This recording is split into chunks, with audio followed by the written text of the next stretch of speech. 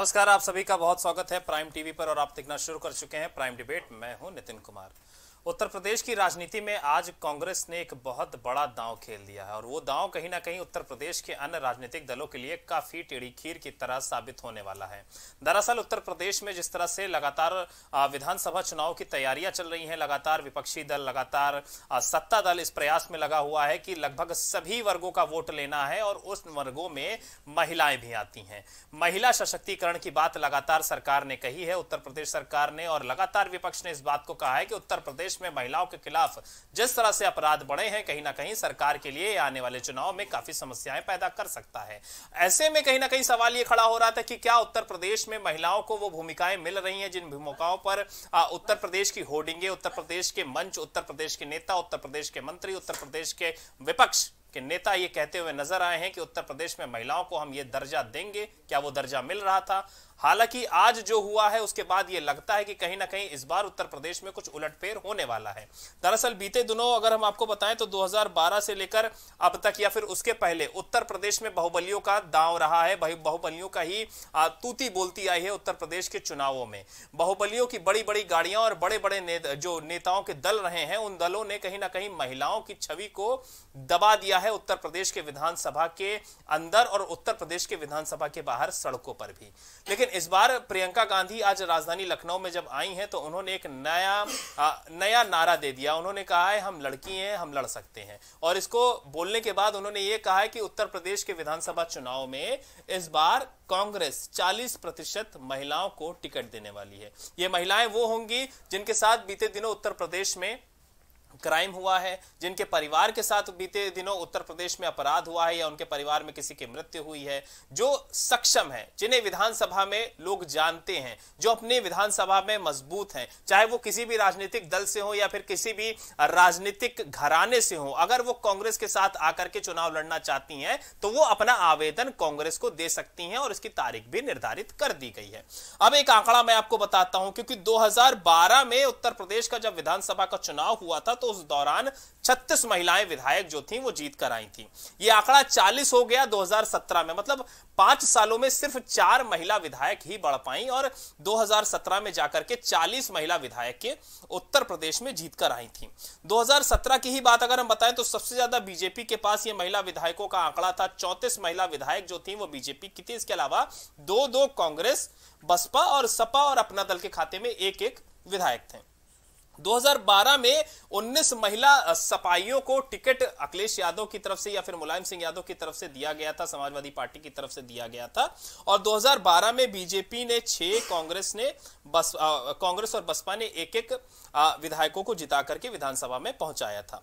पित्र सत्तात्मक जो बात कही जाती है उत्तर प्रदेश में कि राजनीतिक, कहीं ना कहीं उत्तर प्रदेश की जो है वो पित्र सत्तात्मक रही है और कहीं ना कहीं उसी के आधार पर उत्तर प्रदेश में ये राजनीतिक गठजोड़ जो रहा है वो अब तक रहा हालाँकि बीते दिनों उत्तर प्रदेश की सरकार ने जिस तरह से उत्तर प्रदेश में काम किया है और उसके बाद लगातार इस बात को कहा है कि हमने महिलाओं के लिए जो काम किया है, वो शायद किसी भी सरकार ने बीते सालों में नहीं किया या फिर किसी भी राजनीतिक दल ने नहीं किया है। लेकिन अगर अभी के हम मौजूदा हालात बताएँ तो आज प्रियंका गांधी ने जो बात कह दी है, उसके बाद यह लगता है कि कहीं ना कहीं उत्तर प्रदेश में जो आंकड़ा आने वाला है इस बार का, वो बदल सकता है क्योंकि कांग्रेस फुल फॉर्म में इस बार उत्तर प्रदेश का विधानसभा चुनाव लड़ने वाली है और अगर उसमें 40 प्रतिशत महिलाएँ रहेंगी और उसके अलावा वो महिलाएँ जिनके घर परिवार के साथ अपराध हुआ है, जो अपने काम से परेशान है, वो चाहती हैं कि राजनीति में आ जाएँ, जो छात्र हैं, जो युवा जो यूनिवर्सिटीज की स्टूडेंट्स रही हैं, जिन्होंने लगातार छात्र राजनीति में कांग्रेस या फिर आ, अपने साथ वालों की आवाज़ उठाई है ऐसे प्रत्याशियों को कांग्रेस टिकट देने वाली है ऐसे नेताओं को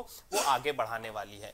विधानसभा का अगर मैं आपको आंकड़ा बताऊँ तो विधानसभा में 33 प्रतिशत का आरक्षण होना होना चाहिए। 403 सदस्यों वाली विधानसभा सीट अगर हम देखें उत्तर प्रदेश की जो 403 सीटों वाली विधानसभा है उसमें ये आंकड़ा कभी भी पूरा नहीं हो पाया है। काफ़ी कोशिश करने के बाद भी अगर 40 महिला विधायक ही जीत कर आ रही हैं तो ये 33 प्रतिशत आंकड़ा नहीं है। तो अब क्या इस बार ये आंकड़ा पूरा होएगा? कांग्रेस ने जिस बात को कह दिया है कि वो 40 प्रतिशत महिलाओं को टिकट देगी क्या अब उसके बाद जो अन्य राजनीतिक दल हैं उत्तर प्रदेश में उनकी क्या प्रतिक्रिया रहेगी? क्या वो भी आ, इसी तरह का कोई ट्रंप कार्ड खेलने वाले हैं?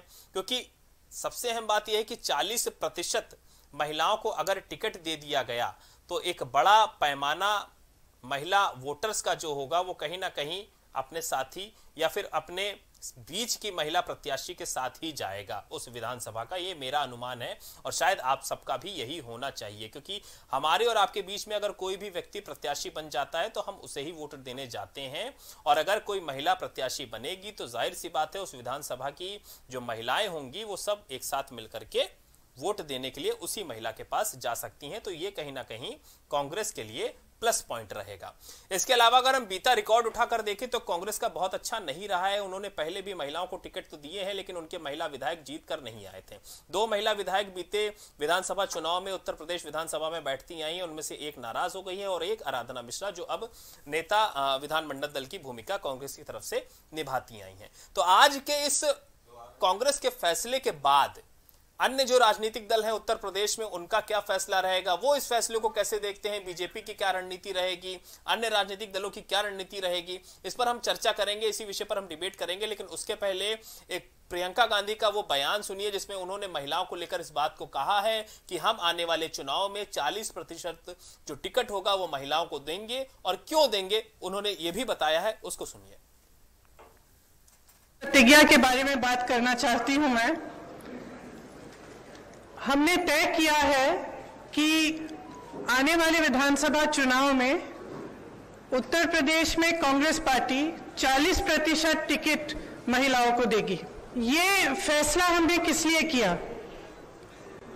जब मैं 2019 के चुनाव में उत्तर प्रदेश प्रचार के लिए आई थी तो इलाहाबाद यूनिवर्सिटी की कुछ लड़कियाँ मेरे से मिली। और उन्होंने मुझे बताया कि किस तरह से यूनिवर्सिटी के नियम कानून हॉस्टल के नियम कानून उनके लिए अलग थे और पुरुषों के लिए अलग। ये निर्णय उनके लिए लिया है। ये निर्णय मैंने उस महिला के लिए लिया है जिसने गंगा यात्रा के दौरान मेरी नाव को वापस तट पर बुला के कहा कि मेरे मेरी आ, मेरे गाँव में पाठशाला नहीं है। मैं अपने बच्चों को पढ़ाना चाहती हूँ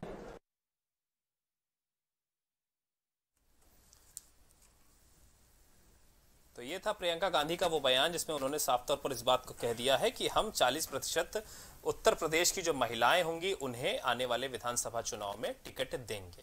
हमारे साथ अलग अलग राजनीतिक दलों से जो मेहमान हैं वो जुड़ चुके हैं और उनसे हम जानने की कोशिश करेंगे कि अब उनकी रणनीति क्या रहेगी। सबसे पहले हम अश्विनी शाही साहब का स्वागत करेंगे। शाही साहब, आपका बहुत स्वागत है। बीजेपी से हैं शाही साहब हमारे साथ। इसके अलावा फकरुल हसन चाँद साहब हैं समाजवादी पार्टी से वो हमारे साथ जुड़े हुए हैं। इसके अलावा गौरव श्रीवास्तव हमारे संवाददाता इस वक्त हमारे साथ न्यूज़ रूम से ही जुड़े हुए हैं। और इसके अलावा अतीक खान है सुभाषपा से हमारे साथ जुड़े हुए हैं। आप सभी मेहमानों का बहुत बहुत स्वागत है। हम कोशिश करेंगे कि कांग्रेस के जो प्रवक्ता अभी तक नहीं पहुँचे हैं, वो भी रास्ते में ही हैं और वो जैसे ही आ जाते हैं, उन्हें भी इस डिबेट में जोड़ा जाएगा।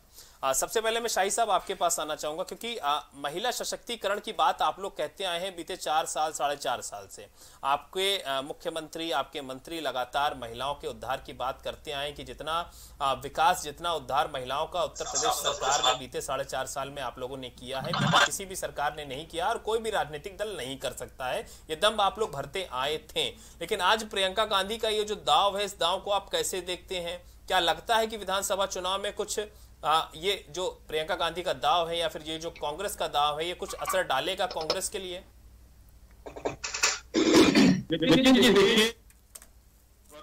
और हर पार्टी अनेक दावे करेगी अनेक चीज़ें सब लोगों को दिखाया जाएगा। यही कांग्रेस है जिसने अभी आपने कुछ आंकड़े दिए कुछ मैं उसमें और जोड़ देता हूँ। हाँ। कि भारतीय जनता पार्टी के जितने जीत कर आए थे उतने इनके प्रत्याशी नहीं थे पिछले चुनाव में। इकतालीस प्रत्याशी कांग्रेस ने लड़ाया था और चौंतीस भारतीय जनता पार्टी की महिला प्रत्याशी जीत कर आई थी। हम लोगों ने तीन सौ इकहत्तर में बयालीस महिलाओं को लड़ाया था। तो नितिन जी देखिए कहने का मतलब है कि 160 होता है। मैं कांग्रेस के लिए बोल रहा हूँ 160 महिला प्रत्याशी बहुत बड़ी चीज़ है। शायद उनको पूरे प्रदेश में वो दो तीन चुनाव लोगों से मिलके लड़े हैं कभी बसपा से कभी सपा से। उनको 400 प्रत्याशी नहीं मिलेंगे पाँच से छह परसेंट वोट है उनका पूरा प्रदेश में। सिमट गया है। और एक आंकड़ा मैं और देता हूँ। उन्नीस में शायद पहला चुनाव हुआ था हमारे विधानसभा का। और लगभग 80 तक कांग्रेस का ही शासन रहा है। कभी सत्रह कभी अठारह कभी छह कभी बीस। यही महिला हमारे कैंडिडेट विधानसभा में रही है। और उस समय कांग्रेस का परचम लहराता था कांग्रेस की सरकारें हुआ करती थी। तो इतने दिनों से बावन से लेकर 2021 में हम लोग खड़े हैं 100 साल होने को जा रहा 30 साल बाद 100 साल हो जाएगा। आज महिलाओं का ध्यान आया है उनको। जी। और वो भी उस महिला का जहाँ पर पचास साल का लड़का और पचास साल की लड़की रहती है उन्होंने कहा हम लड़की है लड़ लेंगे। अरे महिला कहीं होती तो एक बार मान भी लेते। वहाँ पर ये लोग महिलाओं का दम भरती है। हाँ ये ज़रूर है कि ये लोग एक वोटरों के जागृति के लिए अपने लोगों में जान फूकने के लिए सपा बसपा को परेशान करने के लिए अच्छा। कुछ नई नई युति ये लोग लेकर आएँगी। क्योंकि भारतीय जनता पार्टी का जो नारा है सबका साथ सबका विकास और सबका विश्वास। और सबका प्रयास अब जोड़ दिया है माननीय प्रधानमंत्री जी ने। हम लोग इसी को लेकर चले थे नितिन जी और 300 से ऊपर सीट पाए थे और यही नारा हमारा है और फिर 300 से ऊपर सीट हम लोग पाएँगे। अच्छा। ये, ये परेशान होंगे सपा और बसपा के लिए शाही साहब ये सपा वालों के लिए भी उन्होंने एक बात कही। उन्होंने ये कहा कि जब उनसे पूछा गया कि आपकी प्रमुख लड़ाई किससे है तो उन्होंने कहा कि हम तो समाजवादी पार्टी को ऐसा कुछ खास नहीं मानते हमारी प्रमुख लड़ाई बीजेपी से ही रहेगी ऐसा उन्होंने कहीं ना कहीं इशारों में ये बात कही है। आप कितना मानते हैं इस बात को सही? देखिए नितिन जी ये सत्य है कि सभी दल भाजपा से लड़ रहे हैं। हम्म। सपा भी लड़ रही बसपा भी लड़ रही है छोटे छोटे दल है वो भी लड़ रहे हैं कांग्रेस भी लड़ रही है। हम्म। भाजपा निर्विवाद रूप से हम्म। सबका आशीर्वाद प्राप्त पार्टी है। सभी धर्म सभी पंथ सभी जाति सबका आशीर्वाद प्राप्त पार्टी जी। इसलिए हम बड़े शिवालय हैं और सब लोग जल अपना यही चढ़ाएँगे। अच्छा। और आजकल तो सोशल मीडिया का जमाना है देखिए किस तरीके से सपा के राज में भाजपा को जिताने की बात भी हो रही है। हाँ। तो इस समय कोई ऐसी बात नहीं आज प्रियंका जी का जो दाव था हाँ। वो उससे सपा विचलित हो सकती है हाँ। भारतीय जनता पार्टी अपने लोगों को सजो कर चल रही है अपने मिशन पर ध्यान दे रही है महिलाओं के लिए जो हम सशक्तिकरण कर रहे हैं ज़िले ज़िले में उनको रोज़गार देने से लेकर शौचालय और उज्ज्वला की योजना और तीन तलाक अच्छा। ये योजनाएँ हम महिलाओं के लिए रख रहे हैं हाँ। इसमें जाति धर्म नहीं देखते नितिन जी हम लोग हाँ। और उसी पर हमको फिर सबका आशीर्वाद मिलेगा ठीक है फकरुल हसन चाँद ये बताइए जैसा कि शाही साहब कह रहे हैं कि ये समस्या का सवाल आप लोगों के लिए है क्योंकि प्रियंका गांधी ने जो बात कह दी है कि 40 प्रतिशत महिलाओं को टिकट देंगे तो उससे समस्या आप लोगों को होगी बीजेपी को कोई समस्या नहीं होने वाली है और क्या आपको लगता है कि नुकसान सपा को ही होगा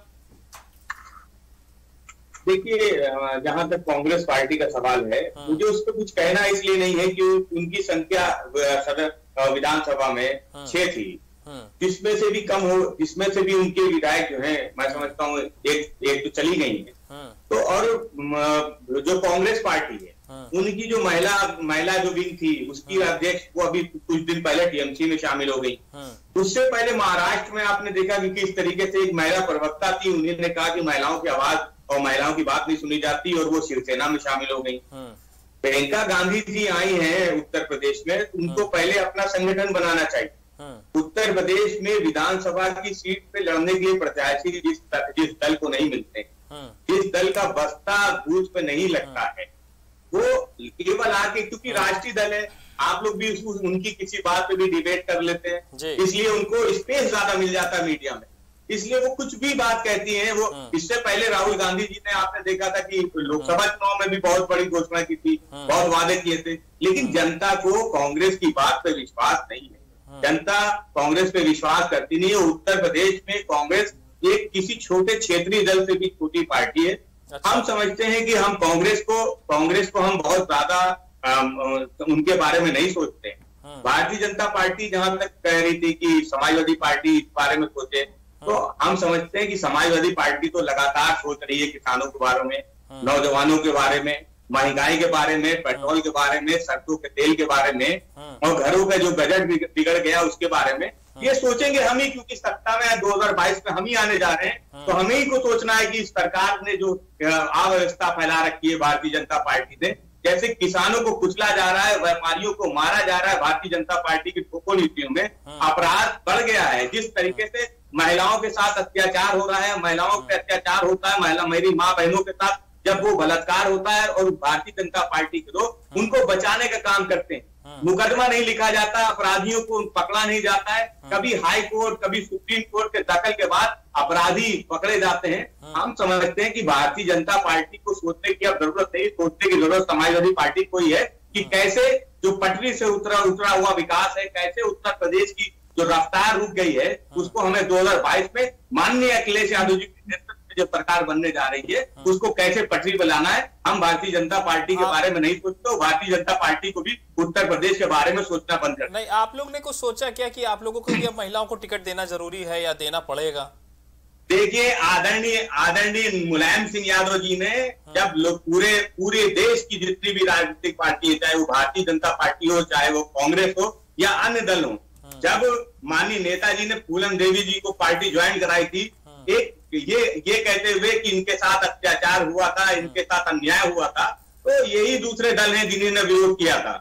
तो समाजवादी पार्टी तो महिलाओं को न्याय दिलाने की लड़ाई भी लंबे समय से लड़ती चली आ रही है। माननीय अखिलेश यादव जी ने वन ज़ीरो नाइन ज़ीरो की स्थापना की थी। महिलाओं को सुरक्षा की बात थी हम समझते हैं कि महिलाओं को सुरक्षा देना उनको उनको सम्मान देना ये ज़रूरी काम है। टिकट देकर उनकी भागीदारी समाजवादी पार्टी में पहले से है। और समाजवादी पार्टी को छोड़ के कोई महिला जाति नहीं है। हाँ। तो कांग्रेस पहले अपना संगठन दुरुस्त कर ले हम समझते हैं। बस्ते लगाने वाले लोग उनके पास हो जाए तो फिर वो टिकट बांटने की भी बात है। ठीक है सर ठीक है। गौरव श्रीवास्तव जी मैं आपसे पूछना चाहूँगा कि आज प्रियंका गांधी ने जो ये बयान दिया है प्रियंका गांधी ने जो इस बात को कहा है कि क्या सचिन जुड़ गए? सचिन जुड़ गए मैं ये पूछ रहा था। आ, सचिन आपको आवाज़ मिल रही मेरी? जी जी आवाज़ आ रही है सचिन रावत कांग्रेस से इस वक्त हमारे साथ जुड़े हुए हैं। सचिन अभी चर्चा हो रही थी हालाँकि आपके पार्टी के जो प्रवक्ता हैं वो शायद वॉकआउट कर गए वो आए नहीं है। मैं आपसे ये पूछना चाह रहा था सचिन भाई ये बीजेपी और सपा कह रही कि आप अपना संगठन नहीं मज़बूत कर पाए आप बस्ते का जो बस्तों वालों का काम होता है चुनाव के दौरान जो आ, लिस्टें बनाते हैं ऐसे लोगों को नहीं ढूंढ पाए आप महिलाओं को नहीं ढूंढ पाएँगे टिकट देने के लिए और ये सब जो बातें आप लोगों की तरफ़ से कही गई हैं ये कुछ नहीं हो सकती इससे ना तो सपा को नुकसान होगा ना बीजेपी को नुकसान होगा। देखिए नितिन जी आज उत्तर प्रदेश के लिए ऐतिहासिक दिन है जिस तरह से श्रीमती प्रियंका गांधी जी ने प्रेस कॉन्फ्रेंस के ज़रिए आज उत्तर प्रदेश की जो महिलाओं की आवाज़ थी उसको उठाने का काम किया है हाँ। जो आगामी विधानसभा के चुनाव है उसमें 40 प्रतिशत जो भागीदारी सुनिश्चित की गई है हाँ। महिलाओं की हाँ।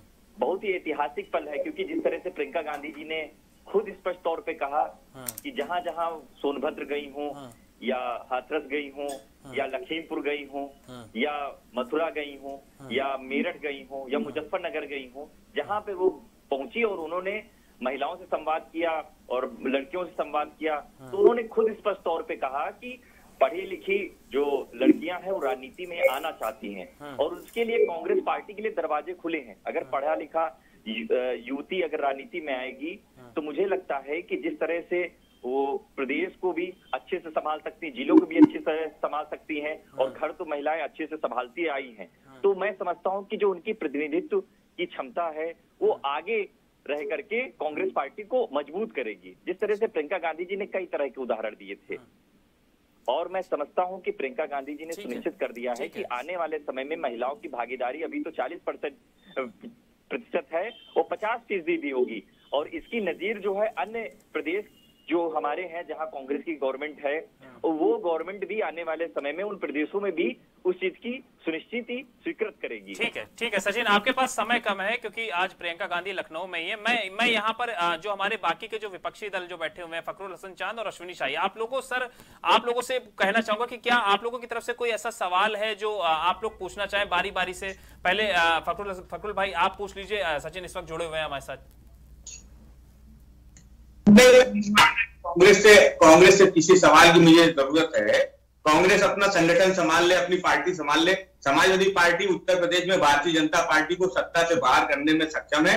समाजवादी पार्टी महिलाओं की लड़ाई लड़ने के लिए सक्षम है। समाजवादी पार्टी किसानों की, नौजवानों की, बेरोजगारों की, महिलाओं की और जो, की सबकी लड़ाई, जो जो देश, जो जो भी जिसके साथ भी अन्याय हो रहा है, जिसके साथ भी इंसाफ नहीं हो रहा है, सबकी लड़ाई समाजवादी पार्टी लड़ने में सक्षम है। भारतीय जनता पार्टी को उत्तर प्रदेश में अगर सत्ता में कोई बेदखल कर सकता है तो वो समाजवादी पार्टी हमें समझते दूसरे विकल्प के पे, के, के तौर पे कांग्रेस अपने को जो सामने लाना चाहती है वो होने नहीं जा रहा है क्योंकि कांग्रेस के पास ना संगठन है ना उनके पास कोई ढांचा है ना उनके पास कोई ऐसा प्लान है चुनाव के समय पे ज़रूर बिल्कुल जैसे पॉलिटिकल टूर पे लोग चले आते हैं उस तरीके से लोग आते हैं बयान देते हैं चले जाते हैं। मैं नहीं समझता कि हाँ, कांग्रेस का उत्तर प्रदेश में कहीं कोई कमी हाँ सचिन क्या कह रहे थे? आपके पास ना तो कोई संगठन है ना तो कुछ है ना तो कोई तैयारी है कुछ भी नहीं है आप लोगों के पास ऐसा फकरुल हसन चाँद कह रहे हैं समाजवादी पार्टी से।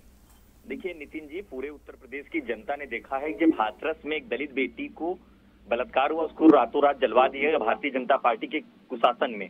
उस समय श्रीमती प्रियंका गांधी जी सड़कों पे उन्होंने संघर्ष किया।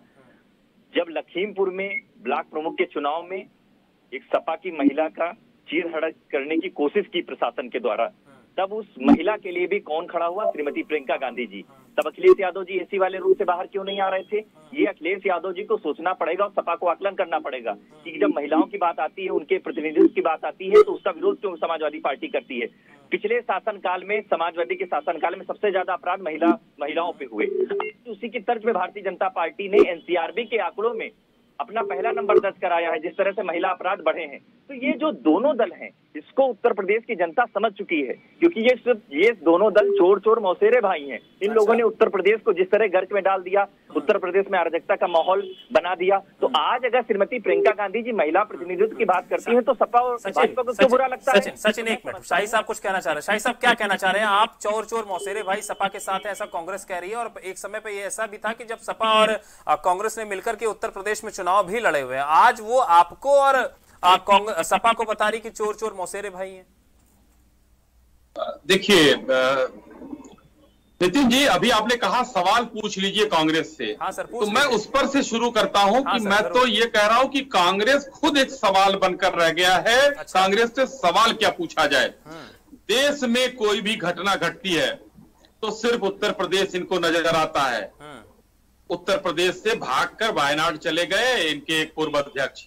हाँ। उस समय उत्तर प्रदेश नज़र नहीं आया हाँ। आज लखीमपुर और हाथरस की ये बात करते हैं मैं पूछना चाहता हूँ सचिन आ रहा हूँ सचिन आ रहा हूँ आप ही के पास आ रहा सचिन आ रहा हूँ एक मिनट बस सचिन जी से मैं पूछना चाहता हूँ हाँ। कि हनुमानगढ़ में इन लोगों ने किसानों के लिए क्या किया जो सचिन भाई सचिन भाई बारी बारी मैं आ रहा हूँ मैं आ रहा हूँ सचिन भाई आ रहा हूँ आप ही के पास हाँ किसानों के लिए जो ऋण माफ़ी की गारंटी दिया था राहुल गांधी ने दस तक गिनती गिन के आज आरसी कहा राजस्थान में कट के पुलिस क्यों घूम रही उनके पीछे? हाँ। तीसरी बात मैं पूछना चाहता हूँ तरन तारन में एक दलित की हत्या होती है बकरी की तरह उसको काट दिया जाता है हाँ। और उसकी लाश को वहाँ पर डीजल डालकर जलाया जाता है। हाँ। वहाँ पर चन्नी जी पाँच रुपया क्यों नहीं देते हैं और लखीमपुर में पचास लाख रुपया क्यों देते हैं? ये बता पूछ लीजिए तो इनका दोहरा चरित्र उजागर हो जाए। ठीक है सर। हाँ सचिन भाई क्या कह रहे थे? देखिए देखिए स्वनी जी मैं सवाल सुन रहा था। स्वनी जी का कोई भी सवाल महिलाओं की प्रतिनिधित्व के बारे में नहीं था। उनके सवाल सिर्फ़ और सिर्फ़ आरोप लगाने वाले थे। आप ये बताइए कि आपका शासनकाल यहाँ पे हो गया? साढ़े चार साल से ज़्यादा शासनकाल होगा। सुनी जी सुन लीजिएगा। साढ़े चार साल से ज़्यादा आपका शासनकाल हो गया। दलित बेटी को रातों रात जलवा देती है आपकी शासन प्रणाली। जिस तरह से लगातार महिलाओं के शासनकाल में लखीमपुर में चीर हरण कर देती है प्रशासन के द्वारा आपकी सरकार। तो ये जो महिलाओं पे अपराध आपकी सरकार में क्यों बढ़े हैं? ये आप लोगों ने देखा होगा। नितिन जी, जी। आप लोगों ने देखा होगा जिस तरह से मोहन भागवत की एक फ़ोटो बड़ी वायरल हुई है। उस हाँ। फ़ोटो में देखा था कि महिलाओं से वो चरण दुला रहे थे। हाँ। इनकी सोच यही है कि वो सिर्फ़ और सिर्फ़ महिलाओं को पीछे रखे, महिलाओं के विरोध में बयान दे। महिलाओं को हमेशा ऐसी बातें करें जिससे कि वो आगे नहीं आ सके। आज अगर कांग्रेस पार्टी महिला प्रतिनिधित्व की बात करती है तो भारतीय जनता पार्टी को बुरा लगता है। तो इनकी सोच यही दर्शाता है कि महिला विरोधी है। इनकी सोच यही दिखाता है कि ये लोग सिर्फ़ और सिर्फ़ महिलाओं को पीछे रखने की बात करते हैं। अगर कांग्रेस पार्टी उनको आगे लेकर के उनको बढ़ाने की बात करती है तो इनको बुरा लगता है। ये सोच दिखाती है कि आने वाले समय में भारतीय जनता पार्टी का शासनकाल कैसा रहा है? अब उत्तर प्रदेश में चुनाव है। आने वाले समय में हमारी महिलाएँ सुनिश्चित हो होकर के 40 परसेंट भागीदारी करेंगी। जिस तरह से विधानसभा पे जब वोट मांगने जाएँगे भारतीय जनता पार्टी के लोग तो उनको उसी भाषा में जवाब दिया जाएगा जिस तरह से साढ़े चार सालों में जनता ने इनका काला चेहरा देखा ठीक है सचिन। शाही साहब कुछ कह रहे थे आप बीच में? नितिन जी नितिन जी मैं एक जोड़ना चाहता था कि भाई कांग्रेस के हमने जो सवाल पूछा कांग्रेस से तो उन्होंने जवाब नहीं दिया वो बचते नज़र आए। एक उसमें मैं जोड़ना चाहता हूँ कि आज इनको प्रियंका जी को राहुल जी को उत्तर प्रदेश नज़र आ रहा चलिए अच्छी बात है। घटनाएँ दुर्घटनाएँ हत्या हुई है। इनको उठाना चाहिए आवाज़ लखीमपुर में चाहे कुछ भी हो। लेकिन महाराष्ट्र में इनकी सरकार है। सदन में? वहाँ का गृहमंत्री गायब है। वहाँ का कमिश्नर गायब है? वहाँ की पुलिस इनकी है क्या कर रही है? क्यों नहीं तो गिरफ़्तार कर रही है। इसका जवाब ये जरा जवाब दीजिए। इसका जवाब उत्तर प्रदेश की जनता तो सबको गिरफ़्तार कर उत्तर प्रदेश की जनता से लेकर जनता आपका काला चेहरा जान गई है चिंता मत करिए। आने वाले समय में आपकी सरकार बदल के रहेगा और उसकी प्रतिनिधित्व जो है वो महिलाएँ करेंगी और महिलाएँ आगे होकर के आपको करारा जवाब 160 देंगी। महिलाएँ आपको बता खोज रहा। लीजिए पहले प्रदेश में। महिलाओं पे अपराध आपके शासनकाल में हुए जब आप सवाल का जवाब नहीं देंगे और बचते हुए नज़र आएँगे। हो चुकी कानून व्यवस्था इनके शासनकाल में। आपके वोटर कितने हैं आपको पता है? ये सिर्फ़ और सिर्फ़ इनके पास में इस तरह के ध्रुवीकरण। पाँच परसेंट की पार्टी है आपकी सचिन शाही अच्छा, साहब कह रहे हैं शाही साहब कह रहे हैं कि 160 महिलाएँ नहीं मिल पाएँगी आप लोगों को देखिए मैं बता रहा हूँ ये देखिए ये यही सोच यही सोच तो आज के उत्तर प्रदेश में बदलनी है कि इनको ये नहीं मालूम है कि महिलाओं पे तो अगर हम टिकट देंगे तो इनको ये लग रहा है कि 160 महिलाएँ नहीं मिल पाएँगी आप ये बताइए नितिन जी आपने कवर किया होगा शिक्षा मित्र हूँ। की हमारी महिलाएँ थी नितिन जी आपने कवर किया था इनके आंदोलन इस सरकार के खिलाफ आंदोलन करते करते उनको उनको अपना सिर मुंडन तक कराना पड़ गया। ये इनके शासनकाल में हुआ कि जो सुहागन महिलाएँ सिर मुंडन कराएँगी ये योगी आदित्यनाथ जी की निरंकुशता है। तो ये इनको ये नहीं दिखेगा कि आज अगर महिलाओं की बात कांग्रेस पार्टी कर रही है तो इनको बुरा लग रहा है। ठीक है ठीक है सर। अतीक इकतालीस प्रत्याशी थे इनके 2017 के चुनाव में। और 160 महिलाएँ खोजना बड़ी टेढ़ी खीर है। चिंता मत करिए चिंता मत करिए। देखिए अहंकार जो है अहंकार एक- 41 प्रत्याशी थे भाई। है ना अहंकारी रूपी जब भी चीज़ें होती हैं तब हमेशा महिला दुर्गा के 41 अवतार में आती प्रत्याशी पूरे उत्तर प्रदेश में आपने लड़ाया था, जिसमें दो जीते आने थे। वाले चुनाव में उत्तर प्रदेश की जनता उसका जवाब देने के लिए तैयार बैठी है। ठीक है ठीक है सर। आ, सचिन आपके पास समय कम है। मैं एक आखिरी सवाल आपसे लेना चाहूँगा। गौरव श्रीवास्तव हमारे साथ जुड़े हुए हैं हमारे संवाददाता। गौरव आप कुछ पूछना चाह रहे थे अजीत जी ये बताइए कि जिस तरह से आपने उत्तर प्रदेश में फार्मूला लागू किया है कि 40 परसेंट महिला सीट आरक्षित करेंगे तो क्या माना सकता है ये आपका फार्मूला क्या राष्ट्रीय स्तर पे भी लागू होगा या जहाँ जहाँ आपकी सरकार है, वहाँ वहाँ लागू होगा? और भविष्य में क्या ऐसे परिणाम देखने मिलेंगे? अच्छा सवाल पूछा आपने, और मुझे लग रहा है कि एक साथी ने भी सवाल प्रियंका गांधी जी से पूछा था। तो प्रियंका गांधी जी ने कहा कि मैं उत्तर प्रदेश की प्रभारी हूँ, और उत्तर प्रदेश में मैं इस बार विधानसभा के चुनाव में 40 प्रतिशत महिलाओं की भागीदारी सुनिश्चित करना चाहती हूँ। अगर कोई भी प्रदेश में चुनाव हो रहा है, अगर इस तरह की प्रणाली अपनाना चाहता है तो उसका स्वागत होना चाहिए। अगर ये जिस तरह से हम 40 फ़ीसदी भागीदारी सुनिश्चित करेंगे, यही हम लोग नेशनल नेशनल लेवल पे सुनिश्चित करेंगे, क्योंकि कांग्रेस पार्टी ने ही 33 परसेंट आरक्षण सुनिश्चित किया था महिलाओं का, जो आज लागू है। तो इसकी भागीदारी हम लोग हर जगह, हर मोर्चे पे स्वीकृत कर रहे हैं। तो निश्चित तौर पे आने वाले अलग अलग जहाँ भी चुनाव होंगे राज्यों में, वहाँ पर भी ज़िम्मेदारी सुनिश्चित कर देंगे।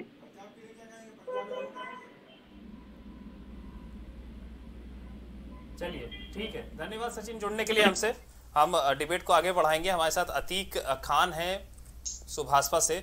अतीक, आप आप लोग की क्या रणनीति होगी भाई? क्योंकि आपकी तो मुलाकात कहीं ना कहीं कांग्रेस से भी होती रही है पीछे के दरवाजों से, अन्य राजनीतिक दलों से भी रही है। आप लोग ने बीते दिनों ये बात कह दी कि अगर बीजेपी हमारी बात मान जाती है तो हम बीजेपी के साथ भी जा सकते हैं, अगर वो हमारी शर्तों पर मान जाती है। लेकिन ये महिलाओं वाले पर कुछ सोचा था क्या कि ऐसा भी हो सकता है? अगर चालीस प्रतिशत महिलाएँ उतार दी जाएँगी और उन विधानसभाओं में उतार उतार दी जाएँगी जहाँ पर आप लोग बीते दिनों मेहनत करते हुए आए हैं तो वहाँ पर तो फिर आप लोग की कहानी खत्म? देखिए बिल्कुल आप सही कह रहे हैं।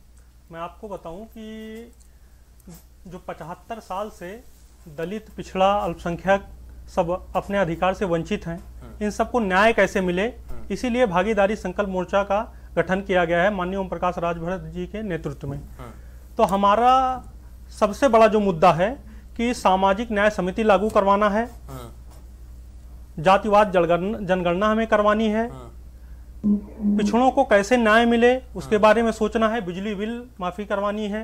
ये महिलाओं वालों पे क्या करना है? बिल्कुल महिलाओं को तो माननीय ओम प्रकाश राजभर जी ने तो सीधा कहा तक पचास परसेंट आप आरक्षण दीजिए। देखिए विधानसभा में महिलाएँ आने से बहुत ज़्यादा फ़र्क नहीं पड़ेगा लेकिन अगर सारी महिलाओं को पूरे उत्तर प्रदेश की महिलाओं को 50 प्रतिशत आरक्षण आपने दे दिया तो मुझे लगता है उससे ज़्यादा फ़ायदा आप तो बीजेपी प्रदेश को क्यों मिलेगा। नहीं देना चाहते और क्यों नहीं देते हैं? देखिए बीजेपी के बारे में तो मैं ज़्यादा कुछ कहूँगा नहीं। अब नहीं, क्यों कल नहीं कहेंगे? कल की घटना आप देख लीजिए परसों वाले भी बताइए ना जब प्रेस कॉन्फ्रेंस हुई थी कि इसी वजह से नहीं कहना चाहते हैं क्या कुछ? बिल्कुल देखिए कुछ कहने का तो मतलब ही नहीं है। मैं आपको बता दूँ कि बीजेपी से कुछ कहन ये किसी की सुनती नहीं, कहाँ आ- है? किसान नहीं, कल पूरा नहीं, दिन खड़े थे। कल चक्का जाम किए थे बीजेपी ने। बीजेपी के किसी भी बड़े नेता ने कोई अपना स्टेटमेंट नहीं नहीं दिया। ये ये स्टेटमेंट मैंने सुना है कि महिलाओं के आने से कुछ ज़्यादा फ़र्क नहीं पड़ने वाला। नहीं महिलाओं के आने से फ़र्क पड़ेगा। अभी कहा है, सिर्फ़ अभी आपने कहा विधानसभा में ही नहीं सिर्फ़ विधानसभा में ही नहीं पचास प्रतिशत उनको आरक्षण दिया जाए हाँ। नौकरियों में दिया जाए और सारी ऑर्गेनाइजेशन में दिया तो जाए फिर आप इस बात को कैसे कह सकते हैं? बिल्कुल मैं देखिए मेरा मानना ये है कि सिर्फ़ एक ही मुद्दा नहीं है कि महिलाओं को ही हमें हाँ। दिया जाए। मुद्दे बहुत सारे हैं। जैसे महँगाई मुद्दा है गरीबी मुद्दा है बेरोजगारी मुद्दा है। हाँ। एक मुद्दे को लेकर के हम चुनाव में नहीं उतर सकते हैं हाँ। जबकि कांग्रेस के पास सिर्फ़ एक ही मुद्दा है जो उन्होंने कहा चालीस प्रतिशत हम महिलाओं को सीट देंगे। हाँ। लेकिन मेरा मानना यह है कि सिर्फ़ चालीस प्रतिशत देने से ही आपको हक न्याय नहीं मिल जाएगा।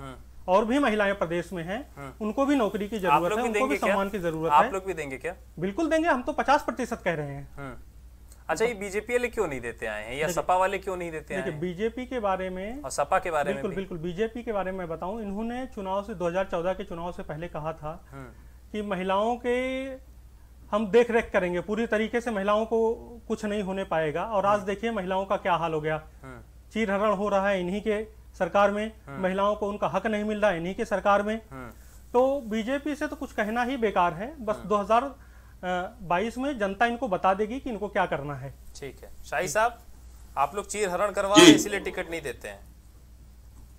देखिए नितिन जी ये एक मोर्चे का नाम है भागीदारी संकल्प मोर्चा। हम्म, और उसके नेता ये बोल रहे थे। हम्म, भागीदारी तो है मोर्चे में हम्म, लेकिन संकल्प डगमगा रहा है। हम्म।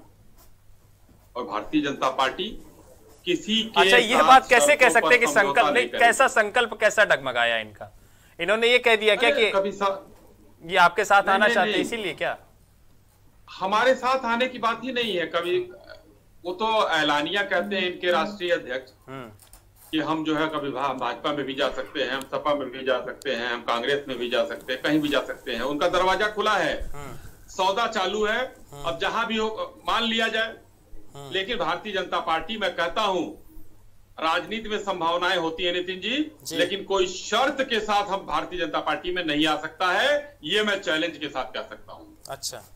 वो शर्त इतने दिन से किसान जो है वहाँ बैठ के कर रहे हैं उनकी शर्तें गलत शर्तें हैं इसलिए हम लोग शर्त मानने के लिए तैयार नहीं है उनकी सारी बातें मानने के लिए तैयार हैं हम लोग। ठीक तो ये सरकार अपने संकल्प से नहीं डिगेगी और ये ओम प्रकाश राजभर जी को सोचना है वो कहा जाएँगे। ठीक है सर। और रही बात महिलाओं की बात करने वाले राजभर जी किस तरीके की महिलाओं की बात करेंगे?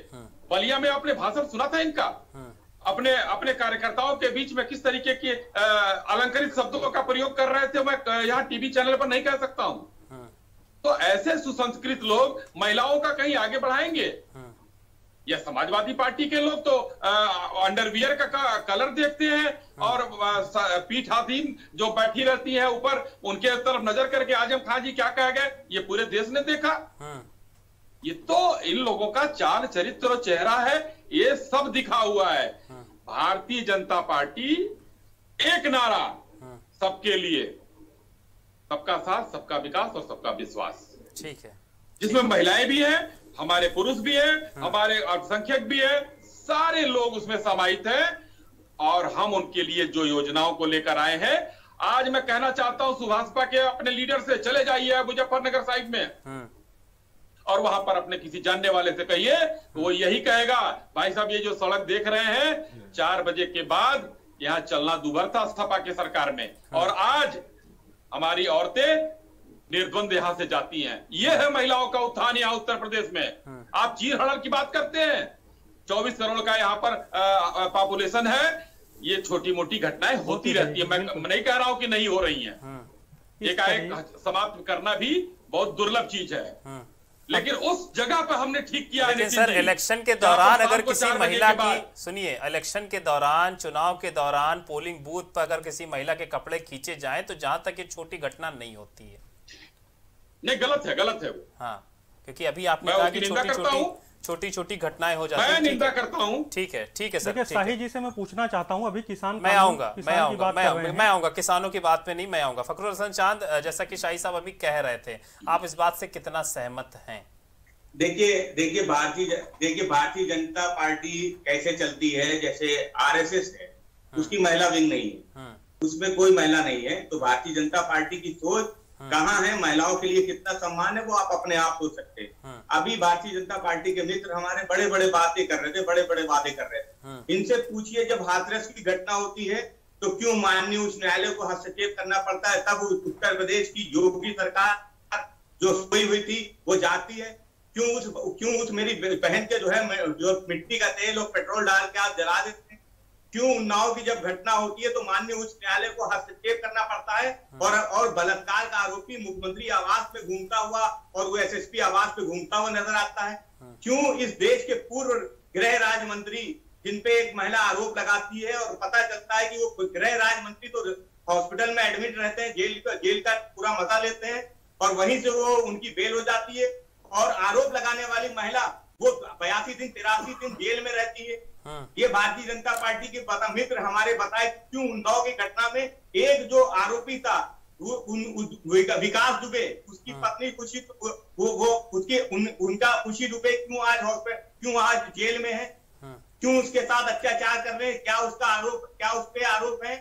क्यों उनके साथ भारतीय जनता पार्टी जो है अत्याचार कर रही? भारतीय जनता पार्टी एक ऐसी पार्टी है जो तो कहीं उसके में कहीं भी महिलाओं का सम्मान नहीं है। भारतीय जनता पार्टी की पार्टी भारतीय जनता पार्टी की जो सोच है वो महिला विरोधी सोच है। ये इस साढ़े चार सालों में हम लोगों ने देखा और देश की और प्रदेश की जनता ने इसको जाना भी कि किस तरीके से अन्याय भारतीय जनता पार्टी की सरकार में महिलाओं के साथ हुआ है। और समाजवादी पार्टी लगातार महिलाओं की लड़ाई लड़ती चली आ रही चाहे हाथरस की घटना रही हो चाहे उन्नाव की घटना रही हो समाजवादी पार्टी ने सड़क से लेकर सदन तक और न्यायपालिका तक इनकी लड़ाई को लड़ने की लड़ने लड़, लड़ते रहे हैं और आगे भी लड़ते रहेंगे। और समाजवादी पार्टी उन महिलाओं ये महिलाओं वाले महिलाओं वाले मुद्दे पर क्या करेंगे आप? महिला प्रत्याशी क्या उतारेंगे? क्या कुछ आप लोग रणनीति बना रहे हैं कुछ ऐसी? देखिए महिला प्रत्याशी तो पहले भी समाजवादी पार्टी उतार हम्म, लेकिन रिज़ल्ट कुछ अच्छा नहीं मिलता है। ना आप लोग को? रिज़ल्ट अच्छा नहीं, नहीं मिला नहीं, नहीं, नहीं ऐसा नहीं। हम्म। ऐसा नहीं है। देखिए जो जो चुनाव जीत सकती हम्म। जिन जो चुनाव जीत सकती जो सदन में जा सकती है उनको चुनाव उनको टिकट ज़रूर दिया जाएगा। और जो जो सदन में नहीं जा सकती महिलाओं के और सरकार जब बन जाती है तो सरकार के और भी हाथ पैर होते हैं जहाँ महिलाओं को सम्मान देने का काम समाजवादी पार्टी ने किया है। हम समझते हम समझते हैं कि सिर्फ़ टिकट बांट देना ही एक एक समाधान नहीं है। महिलाओं को सम्मान देना महिलाओं को सरकार में भागीदारी देना ये समाजवादी पार्टी ने पहले भी किया है। आगे आने वाली 2022 में माननीय अखिलेश यादव जी की सरकार बनने जा रही है। उसमें भी महिलाओं को सम्मान देने का काम समाजवादी पार्टी ठीक हाँ शाही साहब क्या कह रहे जी। जी। नितिन जी देखिए चाँद भाई हमारे अच्छे प्रवक्ता हैं और इन्होंने बड़े बेबाकी से अपनी बात कही। इन ये टिकट भी देंगे मुझे पता है हाँ। लेकिन अभी मैंने चर्चा की कि एक इनके नेता जो है महिलाओं के अंग वस्त्र देखते हैं हाँ। और दूसरे इनके नेता जो है वो कहते हैं लड़कों से गलती हो जाती है अरे तो पुरानी बात है पुरानी बातें लेके कब तक बैठे रहेंगे कैसे आएँगी हाँ। ये कितना इज़्ज़त है तीसरा मैं घटना याद दिलाता हूँ हाँ। कन्नौज में एक घटना मुझे याद आ रही है हाँ। पिछले इनकी सरकार थी और जिला पंचायत के ही चुनाव थे आज वो महिला जिस तरीके से चिल्ला रही थी और जिस तरीके से ये लोग मार रहे थे उसको वो घटना इनको नहीं याद है। कन्नौज की घटना। गायत्री मंत्र ये पढ़ते रहे माननीय सर्वोच्च न्यायालय को कहना पड़ा तब एफआईआर दर्ज हुआ। ये लोग कैसे आरोप लगाते हैं दूसरे पर हाँ, कुछ कुछ रिप्लाई देना चाह रहे हैं। चाँद भाई कुछ रिप्लाई देना चाह रहे हैं। जी। क्या कह रहे हैं? देखिए मैं मैं किसी किसी नेता पर निजी हमले नहीं करना चाहता था क्योंकि इन्होंने नेताजी के बयान को कोट कर दिया है हाँ। कि मैं ब, ब, बच्चे हैं गलती हो जाती है। वो नेताजी ने किस बयान को दिया था किस लंबा बयान था लिविंग रिलेशनशिप पे बयान था। लेकिन इन्हीं ने क्योंकि नेताजी का नाम लिया तो मैं उनसे पूछना चाहता हूँ कि मित्र सबके पास जो है फ़ोन है तो क्यों नहीं आप गूगल करते हैं उस पर आप जासूसी डालिए। आप जासूसी डालिए तो आपको समझ में आ जाएगा कि आपकी पार्टी का चाल चरित तो चेहरा क्या है। एक बार जासूसी डालिएगा और उस पर जो गूगल पे सर्च होके आएगा, पढ़िएगा ज़रूर एक बार। और फिर बताइएगा कि भारतीय जनता पार्टी का काल चरित्र तो चेहरा क्या है। यही मेरे, मेरा आपके सारे बातों का जवाब। ठीक है, सर। गौरव जी, मैं आपको जोड़ना चाहूँगा आज प्रियंका गांधी ने जो बयान दिया है या जो फिर बात कांग्रेस की तरफ़ से कही गई है, ये कांग्रेस के लिए कितना सही सिद्ध होगा?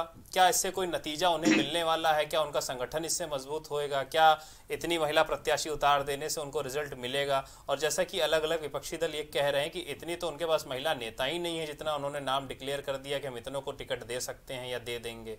कितनी बात में सच्चाई? देखिए दाव उन्होंने खेला है महिलाओं को भागीदारी दे रहे हैं चालीस परसेंट सीट देने की उन्होंने बात कही है। पर मैं आपको बता दूँ कि अभी हाल में ही पंचायत चुनाव हुए हैं। अब उन उन चुनावों का परिणाम पर गौर करेंगे तो लगभग लगभग अंठावन हज़ार एक सौ छिहत्तर सीटें पंचायत चुनाव की थी उत्तर प्रदेश में। जिसमें महिलाओं ने परचम लहराते हुए तिरपन दशमलव सात प्रतिशत सीटों पर अपना जीत दर्ज की। इकतीस हज़ार दो सौ बारह महिलाएँ जीत कर आई हैं। अच्छा। ठीक है पुरुषों से मुकाबले। ज़्यादा। अगर बात करें ब्लॉक प्रमुखों की तो ब्लॉक प्रमुख चुनाव हुए 825 सीटें रही। उसमें चार महिलाएँ यानी लगभग चौवन परसेंट महिलाएँ जीत कर आई। अगर बात करें जिला पंचायत अध्यक्ष की तो खैर महिला सीट की अलग बात है। पर उसमें भी पचहत्तर परसेंट जो पचहत्तर सीटें रही उसमें भी बयालीस परसेंट महिलाएँ जीती हैं। ठीक है? तो महिलाओं की भागीदारी तो बढ़ रही है। चाहे आरक्षण के माध्यम से चाहे सीट के माध्यम से और बढ़ रही है। और जिस तरह से ग्राम प्रधान में उनका निर्वाचन हुआ है मैं आपको बता दूँ कि देश में जब चुनाव होता है तो सबसे बड़ा वोट बैंक जो वोट होता है। वो गाँव से जाता है। साठ परसेंट आबादी है गाँव से वोट जाता है गाँव से ही वोट का प्रतिशत बढ़ता है। शहर में अब उन्हें जो वोट की जो संख्या होती है प्रतिशत होता है वो कम होता है। पर गाँव में जाता है। पर अच्छा क्या गौरव जी यही कारण है क्या कि कांग्रेस ने इस आंकड़े को देखा स्टडी करी और उसके बाद उनको लगा कि हाँ भाई ये कुछ हो रहा है कुछ गड़बड़ हो रहा है। शायद महिलाएँ आगे जा रही हैं पुरुषों को पीछे कर दे रही हैं और ये नतीजे कहीं ना कहीं पलट देंगे। तो इसी वजह से इस बार कांग्रेस ने ये दाव तो नहीं खेल दिया है। बिल्कुल सही कहा आपने कि ये जो दाव है ये दो चीज़ें हैं। एक तो महिलाओं में अपनी जो भूमिका है देखिए आधी आबादी महिलाओं की है। और जब महिलाओं को हम उम्मीदवार बनाएँगे तो कहीं ना कहीं सॉफ्ट कॉर्नर होता है महिलाओं की भी भावना होती है कि हमारी बहन हमारी माँ और हमारी चाची और हमारी रिश्तेदार चुनाव में खड़ी हुई हैं। तो एक प्रकार से जो महिलाओं का जो एक आधार होता है वो आधार तो मिलता ही मिलता है। साफ़ तौर पर जिस तरह से पंचायत चुनाव में महिलाओं का प्रदर्शन रहा है प्रदर्शन भी बहुत बड़ा आधार रहा होगा जिस तरह से उन्होंने अपना चार परसेंट सीटें देने की बात कही है। अन्य पार्टियों की बात करें बीजेपी की बात करें बीजेपी भी लगातार सीट देती है। ये उतनी नहीं दी है उतनी सीट देती है। अच्छा ये बीजेपी तो कहती थी महिला सशक्तिकरण हम ही ने किया है सब कुछ बेहतर हम ही कर रहे हैं महिलाओं के खिलाफ अपराध हमने कम कर दिया सपा शासन काल में महिलाएँ छह बजे के बाद आठ बजे के बाद घर से नहीं निकल पाती थी हमने सारी स्थितियाँ बेहतर कर दी। तो ये तो इनके लिए भी समस्याएँ हो गई ना अब तो कांग्रेस ने खड़ी कर दी। नहीं बिल्कुल इनको भी इस पर विचार करना होगा महिला सशक्तिकरण की बात करें तो अलग अलग आंकड़े हैं। देखिए अगर हम बात करें अगर इनके अश्विन साहू जी बोल रहे हैं कि बहुत बढ़िया हो रहा है योजनाएँ चल रही हैं तमाम चीज़ें हैं सुरक्षा के दावे भी किए जा रहे हैं पर अगर हम एनसीआरबी की रिपोर्ट पर ध्यान देते हैं तो कहीं ना कहीं मामला उलट नज़र आता है। अच्छा। गौर करिएगा क्योंकि एनसीआर की रिपोर्ट है तो महिला आंकड़ों में वृद्धि हुई है। सुप्रीम कोर्ट कई मामलों पर खुद संज्ञान लेता है। तो जो आपको जो जिस तरह से आप बता रहे हैं तो धरातल पे उन चीज़ों को आपको सामने लाना होगा। कुछ नीतियाँ कुछ समीक्षाएँ आपको ऐसी करनी पड़ेंगी कि जो आंकड़े आप पेश कर रहे हैं वो आंकड़े एनसीआरबी की रिपोर्ट से अलग क्यों है? दूसरी चीज़ ये हो गई कि महिलाओं की भागीदारी महज चौतीस पैंतीस महिलाओं का विधानसभा पे पहुँच जाना कोई बहुत बड़ा काम नहीं है। सही बात। 403 404 403 सीट है हमारी उसमें कोई बहुत बड़ी बात नहीं है। अगर देश की बात करें तो लगभग लगभग अठहत्तर की लगभग महिलाएँ हैं जो लोकसभा में है और लगभग पच्चीस महिलाएँ जो आपकी राज्यसभा में मिले हैं। तो इसके हिसाब से तो विधानसभा में अच्छा खासा प्रतिनिधित्व महिलाओं का होना चाहिए। अब तक नहीं हुआ है। क्यों नहीं हुआ है। क्योंकि महिलाओं को वो भागीदारी अब तक नहीं दी जा सकी है जो मिलनी चाहिए। पचास आबादी है आधार है अच्छा- कुछ कहना चाहेंगे सपा को भी इसमें विचार करना पड़े। जो बड़ा कार्ड उन्होंने खेला है।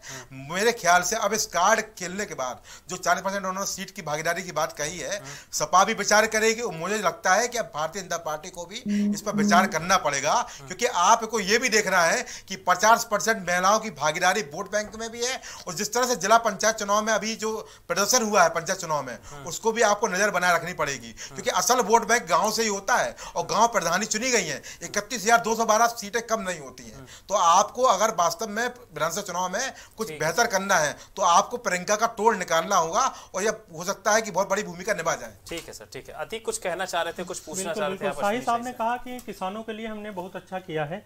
मेरा उनसे सवाल महिलाओं से जुड़ा हुआ सवाल बिल्कुल महिलाओं से जुड़ा भी पूछ रहा हूँ क्योंकि उन्होंने कहा है तो इसलिए मैं वो पूछ रहा हूँ कि तीनों काले कानून में एक अच्छाई मुझे आप बता दीजिए कौन सी ऐसी अच्छाई है जिसलिए आप लोग अड़े हुए हैं कि उस कानून को वापस नहीं ले रहे हैं?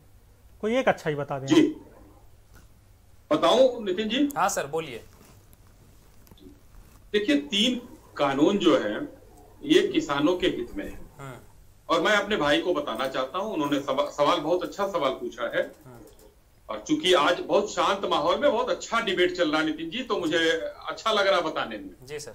आपके माध्यम से ये संदेश जाएगा। जी। तो तीनों कानून है तीनों कानून में कहीं से भी कुछ गलत नहीं है। अपने भाई को मैं बताना चाहूँगा कि लगभग 80 परसेंट पचहत्तर से 80 परसेंट डेढ़ से दो एकड़ के खेतीहर मजदूर इस देश में हैं। उससे ऊपर दो एकड़ से ऊपर वाले हैं। और उस कानून में लिखा हुआ है कि लघु और सीमांत किसानों के लिए फ़ायदेमंद है। ये। उसमें आप एक कॉन्ट्रैक्ट फ़ार्मिंग को ही उठाकर देखिए। हम कॉन्ट्रैक्ट फ़ार्मिंग महाराष्ट्र में और पंजाब में और उत्तर प्रदेश में हरियाणा में कई प्रदेशों में। पहले से होता हुआ आ रहा है उसमें स्पष्ट रूप से लिखा हुआ है कि किसी भी खेत का किसी से एग्रीमेंट नहीं होगा।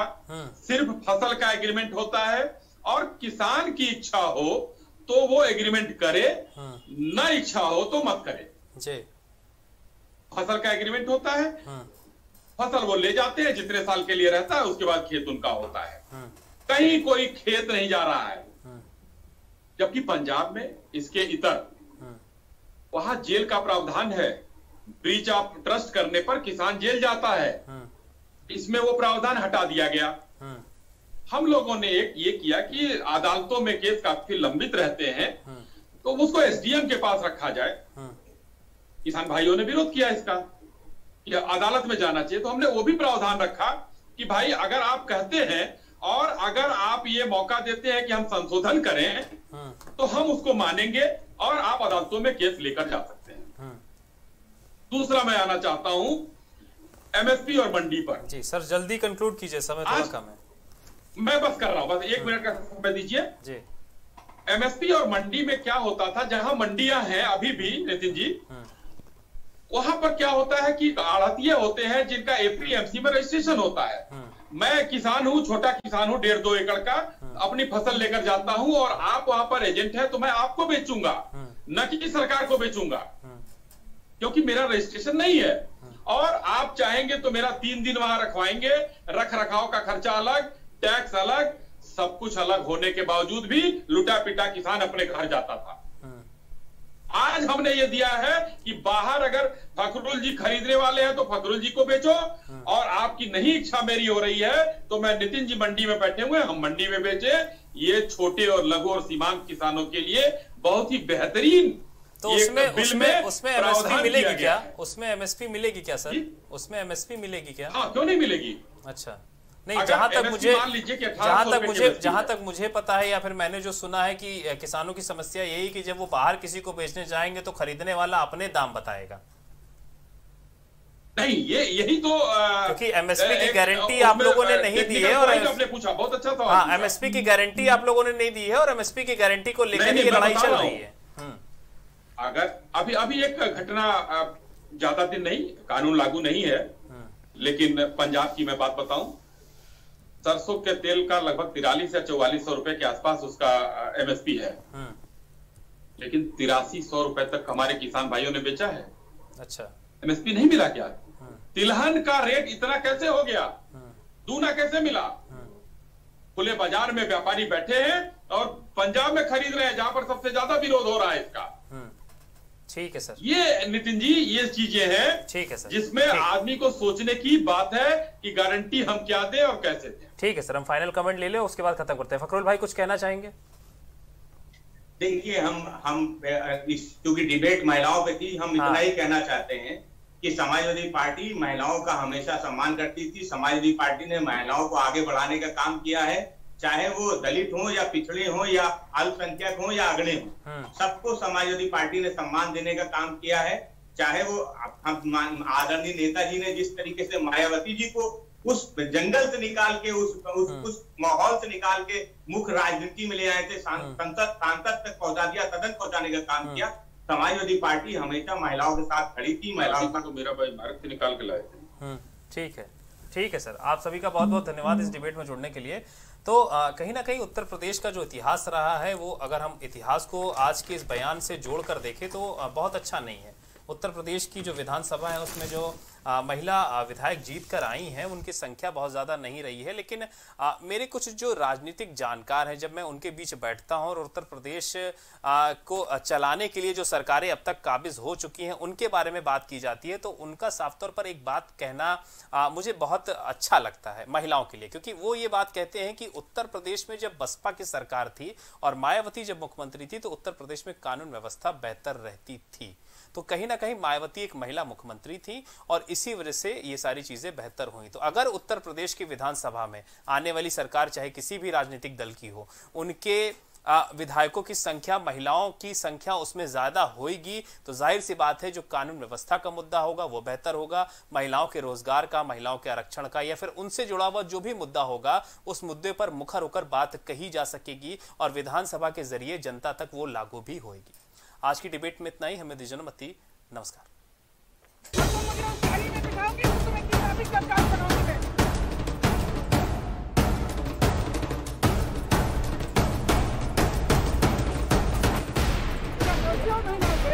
महिला करते हो।